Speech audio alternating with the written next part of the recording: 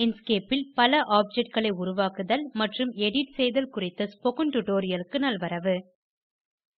இந்த டுடோரியலில் நாம் கற்கபோவது ஆப்ஜெக்ட்களை கோப்பி மற்றும் பாஸ்டே செய்தல் ஆப்ஜெக்ட்களை டூப்ளிகேட் மற்றும் க்ளோன் செய்தல் வெவ்வேறு ஆப்ஜெக்ட்களை குரூப் மற்றும் ஆர்டர் செய்தல் மல்ட்டிபிள் செலக்ஷன் மற்றும் இன்வெர்ட் செலக்ஷன் கிளிப்பிங் மற்றும் மாஸ்கிங் இந்த டுடோரியலுக்காக நான் பயன்படுத்துவது உபுண்டு லினக்ஸ் 1204 இன்ஸ்கேப் பதிப்பு 0484 டாஷ் ஹோம் க்கு சென்று இன்ஸ்கேப் என டைப் செய்க. இன்ஸ்கேப் லோகோவை க்ளிக் செய்து அதை திறக்கலாம். நாம் ஏற்கனவே உருவாக்கிய பைல் assignment 1.svg ஐ திறப்போம். அதை என் டாக்குமென்ட்ஸ் போல்டர் ல் சேமித்திருந்தேன். முதலில் ஆப்ஜெக்ட் ஐ கோப்பி மற்றும் பாஸ்டே செய்ய கற்போம். அதற்கு முதலில் ஒரு ஆப்ஜெக்ட் ஐ தேர்ந்தெடுக்க வேண்டும். எனவே ஐங்கோணத்தை க்ளிக் செய்கிறேன்.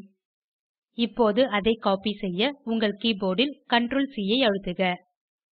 இப்போது அதை பாஸ்டே செய்ய கண்ட்ரோல் V ஐ அழுத்துக. கேன்வாஸ் ல் ஐங்கோணத்தின் பிரதியை காணலாம். ஆப்ஜெக்ட்களின் பிரதியை உருவாக்க மூன்று வழிகள் உள்ளன. இந்த மூன்று வழிகளிலும் ஆப்ஜெக்ட் பிரதி ஒரிஜினல் போலவே இருக்கும். முதல் வழி பாஸ்டே ஸ்பெஷல் எனப்படும். ஆப்ஜெக்ட் ஐ கோப்பி செய்ய ஏற்கனவே CTRL C ஐ அழுத்தியுள்ளோம் என்பதை நினைவு கொள்க. ஆப்ஜெக்ட் ஐ கோப்பி செய்த இடத்திலேயே பாஸ்டே செய்ய Ctrl Alt V கீகளை அழுத்துக. கீழே உள்ள ஒரிஜினல் ஆப்ஜெக்ட் ஐ காண கோப்பி செய்யப்பட்ட ஆப்ஜெக்ட் ஐ நகர்த்துவோம். இந்த இரு ஆப்ஜெக்ட்களையும் நகர்த்தி வைப்போம். இரண்டாம் முறை டூப்ளிகேஷன் எனப்படும்.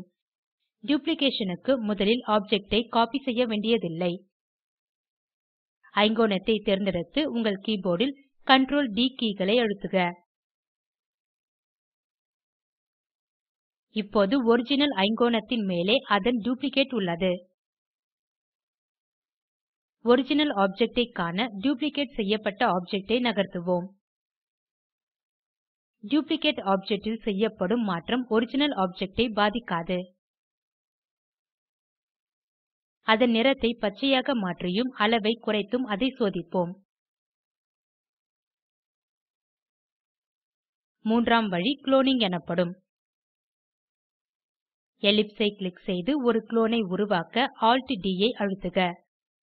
முன்னர் போல ஒரிஜினல் ஆப்ஜெக்ட் க்கு மேலே க்ளோன் செய்யப்பட்ட ஆப்ஜெக்ட் உள்ளது.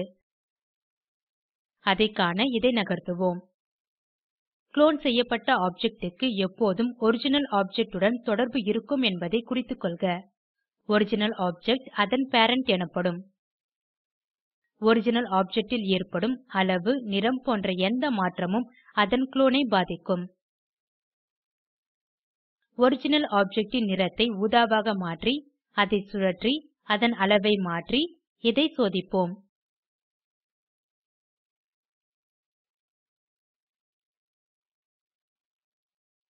க்ளோன் செய்யப்பட்ட ஆப்ஜெக்ட்டிலும் தானாகவே அதே மாற்றங்கள் நடப்பதை காண்க. ஒரிஜினல் ஆப்ஜெக்ட் ல் இருந்து குளோன் ன் தொடர்பை நீக்க முதலில் குளோன் ஐ தேர்ந்தெடுத்து பின் Shift Alt D ஐ அழுத்துக. இப்போது ஒரிஜினல் ஆப்ஜெக்ட் ஐ தேர்ந்தெடுத்து அதன் அளவை மாற்றுக. குளோன் செய்யப்பட்ட ஆப்ஜெக்ட் பாதிக்கப்படவில்லை என்பதை காண்க. இந்த செயல்களுக்கான ஷார்ட்கட் ஐகான்கள் இங்கே கமாண்ட் பார் ல் உள்ளன. பல ஆப்ஜெக்ட்களை தேர்ந்தெடுக்க Shift கே ஐ பிடித்துக்கொண்டே தேர்ந்தெடுக்க விரும்பும் ஆப்ஜெக்ட்களின் மீது க்ளிக் செய்க. முதலில் நீள்வட்டத்தை தேர்ந்தெடுக்கிறேன். பின் Shift கே ஐ பிடித்துக்கொண்டே மற்றொரு நீள்வட்டத்தை க்ளிக் செய்கிறேன். இப்போது இரு ஆப்ஜெக்ட்களும் தேர்ந்தெடுக்கப்பட்டிருப்பதை காண்க. இவற்றை இப்போது கண்ட்ரோல் ஜி கீகளை அழுத்தி குரூப் செய்வோம். நீள்வட்டங்கள் இப்போது சிங்கில் ஆப்ஜெக்ட் ஆக குரூப் செய்யப்பட்டுள்ளன. அவற்றை இப்போது நகர்த்தி இரு ஆப்ஜெக்ட்களும் ஒன்றாக நகர்வதை காணலாம். குரூப் ன் அளவை மாற்ற முயலும்போது இரு ஆப்ஜெக்ட்களின் அளவும் மாறுகிறது. நிறத்தை நீலமாக மாற்றி இரு ஆப்ஜெக்ட்களும் ஒரே நிறமாக மாறுவதை காணலாம்.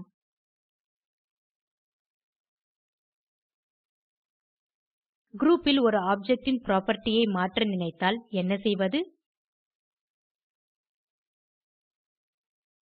குரூப் ல் ஒரு ஆப்ஜெக்ட் ஐ மட்டும் தேர்ந்தெடுக்க கன்ட்ரோல் பட்டனை அழுத்தி அந்த ஆப்ஜெக்ட் ல் க்ளிக் செய்க.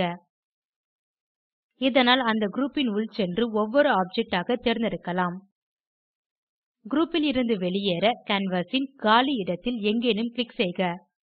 ஆப்ஜெக்ட் களை அன்குரூப் செய்ய முதலில் குரூப் ஐ தேர்ந்தெடுத்து Ctrl Shift G keyகள் அல்லது Ctrl U keyகளை அழுத்துக. இப்போது நீள்வட்டங்கள் அன்க்ரூப் செய்யப்பட்டுள்ளன. இந்த செயல்களுக்கான ஷார்ட்கட் ஐகான்கள் இங்கே கமாண்ட் பார் ல் உள்ளன. கேன்வாஸ் ல் அனைத்து ஆப்ஜெக்ட் களையும் தேர்ந்தெடுக்க Ctrl A keyகளை அழுத்துக. அனைத்து ஆப்ஜெக்ட் களையும் தேர்வு நீக்க கேன்வாஸின் காலி இடத்தில் எங்கேனும் க்ளிக் செய்க. ஏதேனும் ஒரு ஆப்ஜெக்ட் ஐ தவிர அனைத்தையும் தேர்ந்தெடுக்க வேண்டுமெனில் இன்வெர்ட் செலக்ஷன் தேர்வை பயன்படுத்தலாம்.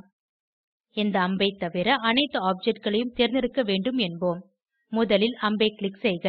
இப்போது எடிட் menuக்கு சென்று இன்வெர்ட் செலக்ஷன் ஐ தேர்ந்தெடுக்கவும். இந்த அம்பை தவிர கேன்வாஸ் ல் அனைத்து ஆப்ஜெக்ட் களும் தேர்ந்தெடுக்கப்பட்டிருப்பதை காண்க. இப்போது ஆப்ஜெக்ட் களை அடுக்க கற்போம். இந்த சிறிய ஐங்கோணத்தை பெரிய ஐங்கோணத்திற்கு மேலே வைக்கிறேன். இப்போது ஒரு நட்சத்திரத்தை வரைந்து அதை சிறிய ஐங்கோணத்தின் மேலே வைக்கிறேன்.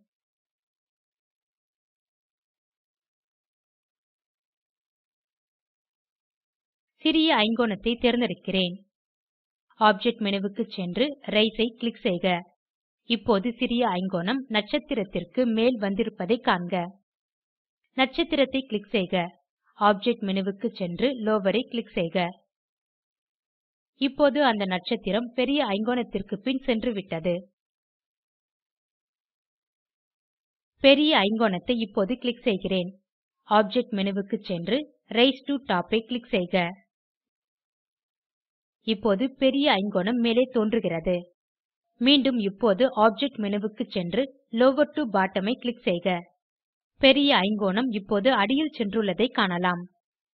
டூல் கன்ட்ரோல்ஸ் பார் லும் இந்த தேர்வுகளை காணலாம். அடுத்து கிளிப்பிங் பற்றி காண்போம். உங்கள் சிக்கலான ஆப்ஜெக்ட்களை கிளிப்பிங் உருவாக்குகிறது. உங்கள் டிசைன் ன் மற்றொரு எலிமெண்ட் அல்லது ஷேப் க்கு மாற்றுகிறது. இது அதன் முழு வடிவத்தை மாற்றுவதன் மூலம் சீக்கிரமாகவும் சுலபமாகவும் நடக்கிறது. இந்த செயல் விளக்கத்திற்கு ஒரு படத்தை பயன்படுத்துகிறேன். புது இன்ஸ்கேப் ஃபைலில் ஒரு படம் உள்ளது. இந்த படத்தில் ஒரு நீள்வட்டத்தை வரைகிறேன். இப்போது அந்த படத்தையும் நீள்வட்டத்தையும் தேர்ந்தெடுப்போம். ஆப்ஜெக்ட் menuக்கு சென்று கிளிப் பின் செட் ல் க்ளிக் செய்க. நீள்வட்டத்தின் வடிவத்திற்கு அந்த படம் இப்போது கிளிப் செய்யப்பட்டிருப்பதை காண்க. கிளிப்பிங் ல் ஆப்ஜெக்ட் ன் வடிவம் கிளிப் ஆக பயன்படுகிறது. தோன்றும் பரப்பை வரையறுக்கிறது. கிளிப் ஐ நீக்க ஆப்ஜெக்ட் menuக்கு சென்று கிளிப் பின் ரிலீஸ் ஐ க்ளிக் செய்க. இப்போது கிளிப் விடுவிக்கப்படுகிறது. அடுத்து மாஸ்கிங் செய்ய கற்போம். மாஸ்கிங் ம் கிளிப்பிங் போன்றதே. மாஸ்கிங் ல் ஒரு ஆப்ஜெக்ட் ன் டிரான்ஸ்பரன்சி அல்லது லைட்னெஸ் இரண்டாம் ஆப்ஜெக்ட் ன் ஒபாசிட்டி ஐ நிர்ணயிக்கிறது. மாஸ்கிங்கின் செயல் விளக்கத்திற்கு நீள்வட்டத்தை கிரேடியன்ட் டூல் ஐ பயன்படுத்தி செமி டிரான்ஸ்பரண்ட் ஆக மாற்றுகிறேன். நீள்வட்டத்தை தேர்ந்தெடுக்கவும். ஆப்ஜெக்ட் menuக்கு சென்று பில் ஆண்ட் ஸ்ட்ரோக் ல் க்ளிக் செய்க. ரேடியல் கிரேடியன்ட் க்கு சென்று எடிட் ல் க்ளிக் செய்க. நிறத்தை வெள்ளையாக மாற்ற ஆர்ஜிபி ஸ்லைடர்களை வலது கொடிக்கு நகர்த்தவும்.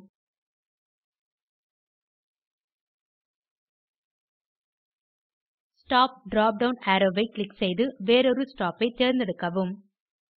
நிறத்தை கருப்பாக மாற்ற ஆர்ஜிபி ஸ்லைடர்களை இடது கொடிக்கு நகர்த்தவும். அல்பா வால்யூ ஐ 255 ஆக மாற்றவும். இதற்கிடையில் மற்றொரு நிறத்தை சேர்க்க ஆட் ஸ்டாப் ஐ க்ளிக் செய்க. நோட் டூல் ல் க்ளிக் செய்து டயமண்ட் ஹேண்டில் ஐ மேல்நோக்கி இழுக்கவும். இப்போது படத்தையும் நீள்வட்டத்தையும் தேர்ந்தெடுக்கவும். ஆப்ஜெக்ட் menuக்கு சென்று மாஸ்க் பின் செட் மீது க்ளிக் செய்க. படத்தின் மீது மாஸ்க் உருவாக்கப்பட்டிருப்பதை காண்க. நீள்வட்டத்தில் உள்ள மாஸ்கிங் ஆப்ஜெக்ட் ன் டிரான்ஸ்பரன்சி புராப்பர்ட்டீஸ் ஐ படம் ஏற்றுள்ளதை காண்க. மாஸ்க் ஐ நீக்க ஆப்ஜெக்ட் menuக்கு சென்று மாஸ்க் ஐ க்ளிக் செய்து பின் ரிலீஸ் மாஸ்க் நீக்கப்பட்டுவிட்டது. சுருங்க சொல்ல இந்த டுடோரியலில் நாம் கற்றது ஆப்ஜெக்ட்களை கோப்பி மற்றும் பாஸ்டே செய்தல். ஆப்ஜெக்ட்களை டூப்ளிகேட் மற்றும் க்ளோன் செய்தல். வெவ்வேறு ஆப்ஜெக்ட்களை குரூப் மற்றும் ஆர்டர் செய்தல். மல்ட்டிபிள் செலக்ஷன் மற்றும் இன்வெர்ட் செலக்ஷன் கிளிப்பிங் மற்றும் மாஸ்கிங் இங்கே உங்களுக்கான இரு பயிற்சிகள் உள்ளன. சாம்பல் நிறத்தில் செங்குத்து நீள்வட்டத்தையும் கருப்பு நிற வட்டத்தையும் உருவாக்கவும். நீள்வட்டத்தின் மேலே மையத்தில் வட்டத்தை வைக்கவும். அது கண் வடிவில் இருக்க வேண்டும். அவற்றை குரூப் செய்யவும்.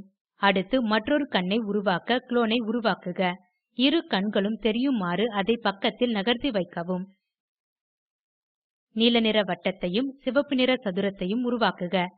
சதுரத்தை டூப்ளிகேட் செய்து அவற்றை குறுக்கே எதிரெதிரே வைக்கவும். இரு சதுரங்களையும் தேர்ந்தெடுத்து ஒரே ஆப்ஜெக்ட் ஆக குரூப் செய்யவும். குரூப் செய்யப்பட்ட சதுரங்களுக்கு நடுவே மேலே வட்டத்தை வைக்கவும். இரண்டையும் தேர்ந்தெடுத்து ஒரு கிளிப் ஐ உருவாக்கவும். அது ஒரு இரு சுழல் முடிச்சு போன்று இருக்க வேண்டும். நீங்கள் செய்து முடித்த பயிற்சி இவ்வாறு இருக்க வேண்டும். கீழ்காணும் இணைப்பில் உள்ள காணொளி ஸ்போக்கன் டியூட்டோரியல் திட்டம் பற்றி சுருங்க சொல்கிறது. உங்கள் இணைய இணைப்பு வேகமாக இல்லை எனில் அதை தரவிறக்கி காணவும்.